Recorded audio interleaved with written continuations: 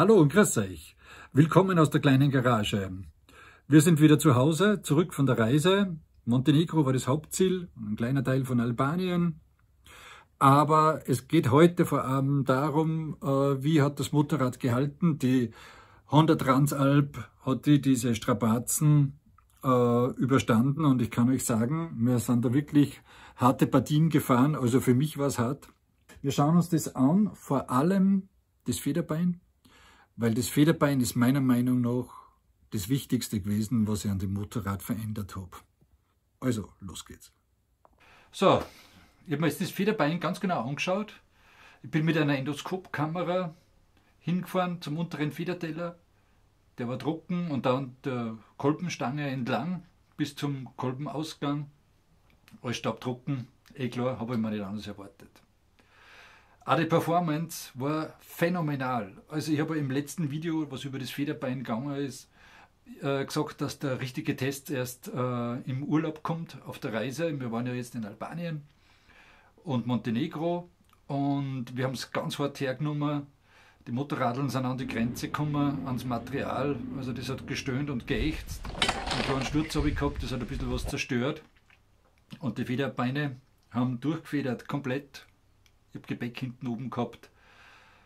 Was mir besonders gut gefallen hat, war, dass man, wenn man erschöpft ist und schon länger stehend gefahren ist, aber ich mir einfach hinsetzen können. Und das Federbein hat die Stöße locker aufgenommen. Das wäre mit dem Üss-Federbein nicht möglich gewesen, weil wenn ich mit dem so gefahren bin, dann hat es mir die Bahnscheiben hinten ausgeschmissen. Also das war schmerzhaft. Das hat einfach nicht funktioniert. Also, Fazit ist, das Beste, was man am Fahrzeug machen kann, die beste Investition überhaupt, ist das Fahrwerk. Da kann man sich solche Scheinwerfer kaufen oder so tolle Masken machen oder sonst noch was, das nützt alles nichts. Erst das Federbein verändert das Fahrzeug wirklich. Und zwar zum Guten, wenn man sich ein Gutes einbaut. Also ich kann das jeder empfehlen, jeden empfehlen, wenn er was machen möchte und investieren möchte, dann soll er sich bitte ein gutes Federbein kaufen. Weil das ist das Beste überhaupt. Das ist einfach super. So, allgemein würde ich auch noch ganz gern was sagen zur Transalp, also zu dem speziellen Umbau, der eben im Gelände mehr leisten sollte als eine normale Transalp. Das tut er, das ist einmal klar, auf alle Fälle, aber es gibt Grenzen und diese Grenzen sind mir diesmal untergekommen. Es ist wirklich so, dass leider die Front, obwohl eine Afrika Twin Gabel verbaut ist, schlecht ist fürs harte Gelände.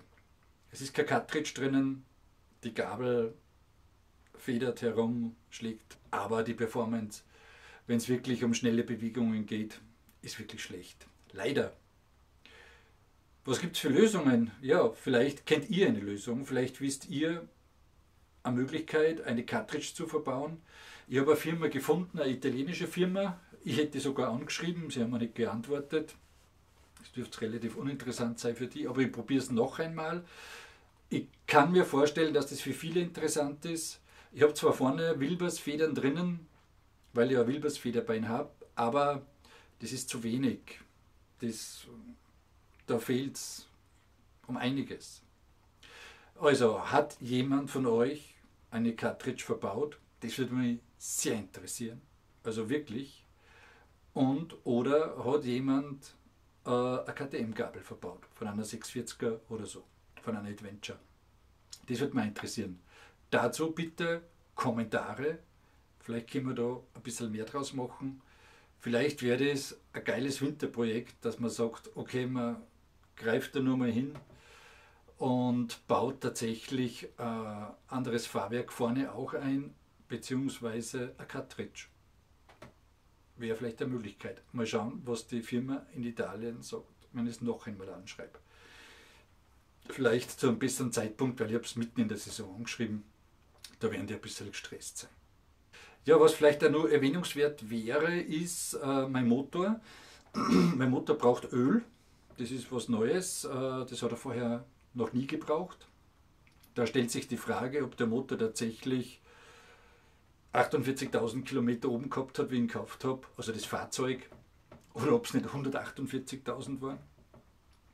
Und wie ihr alle wisst, beim Wechseln des Antriebssatzes haben wir ja gesehen, dass meine Antriebswelle mehr oder weniger kaputt ist. Hat aber jetzt super durchgehalten mit diesem Ritzel, mit dem speziellen. Wer das nicht gesehen hat, dieses Video, kann ich jedem empfehlen, äh, sich das richtige Ritzel einzubauen, das schont die Welle.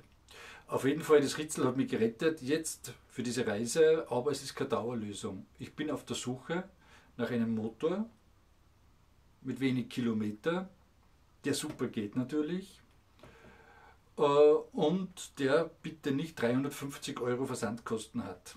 Das wäre super. Vielleicht hat in der Gegend jemand einen herumstehen, vielleicht jemand eine Transalp, die er loswerden will, wo der Motor noch äh, in einem guten Zustand ist. Das wäre super. Dazu bitte Anmerkungen. Ja, mehr gibt es jetzt nicht mehr zu sagen in diesem sehr kurzen Video einmal. Das ist einmal äh, eine Ausnahme. Also, macht es gut. Ich freue mich auf das nächste Video, wenn ich das präsentieren darf.